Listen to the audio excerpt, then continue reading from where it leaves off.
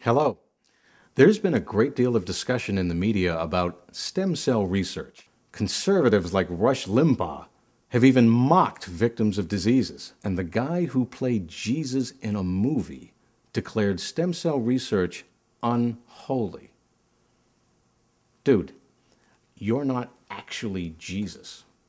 The fact is, millions of people are afflicted with debilitating illnesses that affect the quality of their life. Stem cell research offers an opportunity for cures and hope for these people. But conservatives have focused America's attention and resources on fighting terrorism. Well, scientists are concerned with national security too, and each advancement in stem cell research gets us one step closer to cloning.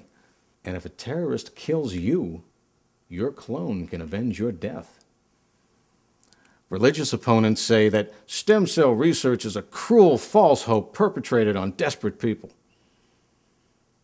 Sound familiar?